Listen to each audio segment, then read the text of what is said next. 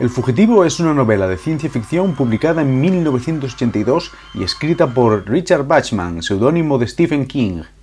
Entre 1977 y 1984, Stephen King publicó una serie de novelas bajo el seudónimo de Richard Bachman. También publicó alguna después, pero el periodo Richard Bachman es principalmente entre esos años. Gracias a, bueno, gracias a una gran cantidad de sustancias, Stephen King tenía un ritmo de escritura frenético, pero muchos editores no quieren publicar más de una novela al año del mismo autor. No es bueno, satura el mercado. De ahí que se inventase un seudónimo para publicar más. Drogas aparte, Stephen King tenía un método muy bueno para escribir. Él escribía 6 páginas al día. 6 páginas. Y así en 3-4 meses, pues ya tenías bastantes páginas para hacer una novela y solo tenías que editarlo. ¿Os dais cuenta del Nanobrimo, este especie de programa para escribir una novela de 50.000 palabras en un mes? Pues Stephen King lo hizo durante toda la década de los 80. La mayoría de la gente, yo incluido, conoce esta historia más por la película de Schwarzenegger, pues de 1987. Pero el libro no tiene prácticamente nada que ver con la película. Aunque la película está bien, es una ochenterada genial y mismamente, no sé, cuenta con el Arnold de los 80, el mejor Arnold. Durante los 70 y los 80, un tópico muy repetido en la ciencia ficción, tanto en libros como en cine, era la crítica a la televisión como un medio de distracción algo que hace que la gente ignore sus problemas y que además los insensibiliza de cara a la violencia. Esto puede verse en Robocop de Paul Verhoeven, en Videodromo de Cronenberg o en Están vivos de Carpenter, por ejemplo. E incluso en algunos videojuegos, como puede ser el Smash TV. Y en el fugitivo los tiros van un poco por ahí.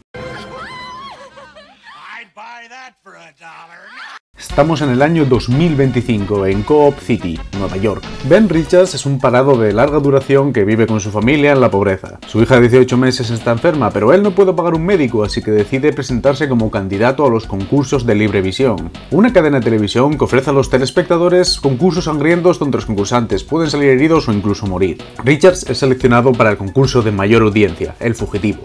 El programa consiste en concursantes escapando de una serie de cazadores que intentan encontrarlos para matarlos. Se les concede 48 horas para que abandonen el plató de televisión y se escondan. A partir de ahí ganan 100 dólares por cada hora que sobrevivan. Si mueren, todo el dinero que hayan ganado se les entrega a su familia. El concurso termina si los concursantes consiguen sobrevivir un mes. Entonces se los declara ganadores y reciben el gran premio de mil millones de dólares. El récord hasta la fecha de mayor tiempo vivo es de 8 días y 5 horas. Cualquier espectador puede dar pistas al programa sobre la localización de un concursante y por ello gana 100 dólares. Si la pista encima sirve para que los cazadores le encuentren y le maten, pues ganan 1000 dólares más. Además, cualquier policía eh, o cualquier agente del orden, si consigue matar a un concursante, recibe una grandísima recompensa por parte de la cadena. Pero por otra parte, los concursantes también reciben bonificaciones por cada policía que maten. Además, a los concursantes se les entrega una cámara de vídeo con un montón de cintas. Cada día deben enviar dos vídeos, dos blogs al programa o el programa considera que han perdido. Pero aunque hayan perdido el concurso, los cazadores no van a dejar de perseguirlos. La mayor parte de la novela consiste en Ben Richards concursando en El Fugitivo. Al final, por razones que no voy a decir, porque spoilers, Richard secuestra un avión y decide estrellarlo en el edificio de la cadena en Nueva York.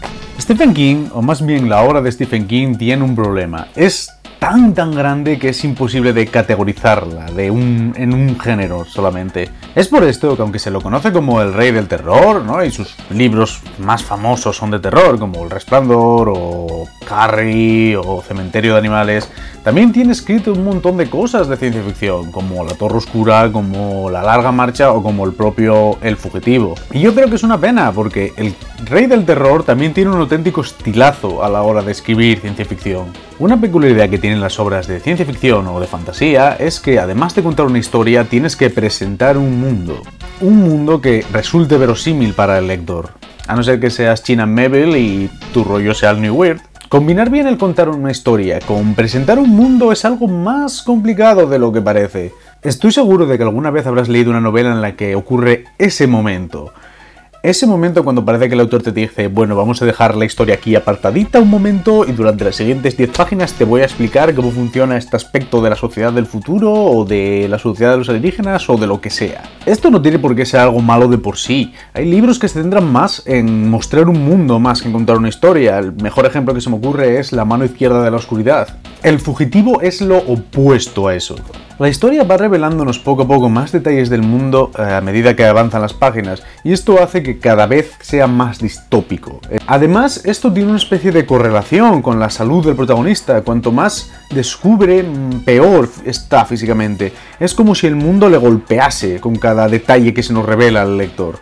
El mundo distópico de esta novela podría parecerse un poco al de Neuromante, es también una especie de distopía neoliberal, si acaso con mucha menos tecnología. Lo que más llama la atención son las barreras de clase, consecuencias de un individualismo muy muy excesivo. Es como si todo el mundo solo quisiese relacionarse con gente como ellos y odiasen al resto. No solo vemos esto en la separación que hay en el libro entre barrios ricos y barrios pobres, también lo vemos dentro de los propios barrios pobres, donde existen bandas de moteros y muchos subgrupos que solo miran por lo suyo. El propio programa en el que participa Richards eh, fomenta esto. Cada concursante es convertido en una personificación de los miedos que las clases medias y altas sienten hacia las clases bajas. La dirección del programa incluso llega a modificar fotos de Richards para que parezca más siniestro, más criminal. El tipo de persona que te atracaría en un callejón por la noche. Esta mentalidad que impera en el libro hace que El fugitivo sea una novela extrañamente actual. Parece que vivimos en una época en la que todo el mundo en política es muy partisano, todo el mundo está muy cerrado en ciertas posiciones y no quiere ceder nada. Y esta mentalidad se parece a la que tiene la gente del libro. Todo el mundo echa la culpa a los demás y se aferra en su posición. El programa modificando las fotos tiene que ver con la capacidad que tiene la tele para crear realidad. No es que puedan crear una realidad independiente al mundo real, pero sí pueden centrarse en algunas cosas e ignorar otras y entre las dos prácticamente creas una realidad propia. Y como todo el mundo ve la televisión, lo real es lo que la cadena quiere que sea real. Por ejemplo, en la novela Richards descubre que la causa de las principales enfermedades que asolan a las clases bajas, que son el cáncer de pulmón y la neumonía, se deben sobre todo a la contaminación atmosférica. Entonces decide hablar de ello en los vídeos que graba para el programa, pero simplemente le quitan el sonido o lo modifican para que no se le entienda o ponen un sonido más fuerte encima. Así de fácil es para el programa ocultar un problema que está literalmente matando a miles de personas. La contaminación es otro aspecto muy importante de la obra. No solo se nos habla de la polución del aire, también de cómo una empresa que da trabajo a miles y miles de personas, la General Atomics, una parodia de la General Electric, no da protección a sus empleados y la mayoría de ellos acaban siendo estériles. En el mundo del fugitivo, la contaminación está haciendo estragos en la gente, pero parece que a los responsables de ello les da simplemente igual. En ese sentido, el mundo del fugitivo da esa impresión de estar cansado consigo mismo. Es curioso porque este tipo de mentalidad de un mundo en el que parece que ya todo da igual y que el mundo ya terminó, aunque no terminó aún. Es más de los 90 que de los 80.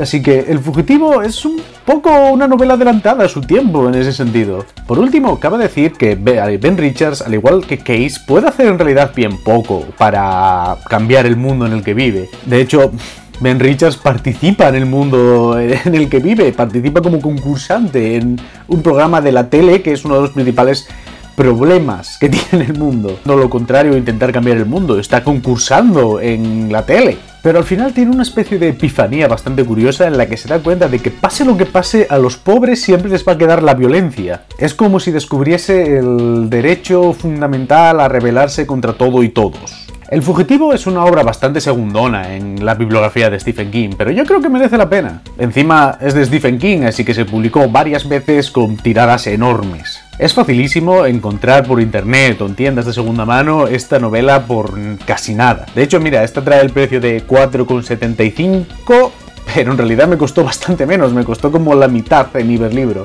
Y en serio, merece la pena. Encima tiene otros detalles que la hacen muy guay de leer. Por ejemplo, la historia es continua. Es un poco en ese sentido como eh, Sons of Anarchy, no sé si la visteis. Pues todos los eventos de la novela transcurren durante una semana durante ocho días concretamente. Y la narración son esos ocho días de manera casi ininterrumpida. Y bueno, poco más que decir. Hasta la próxima.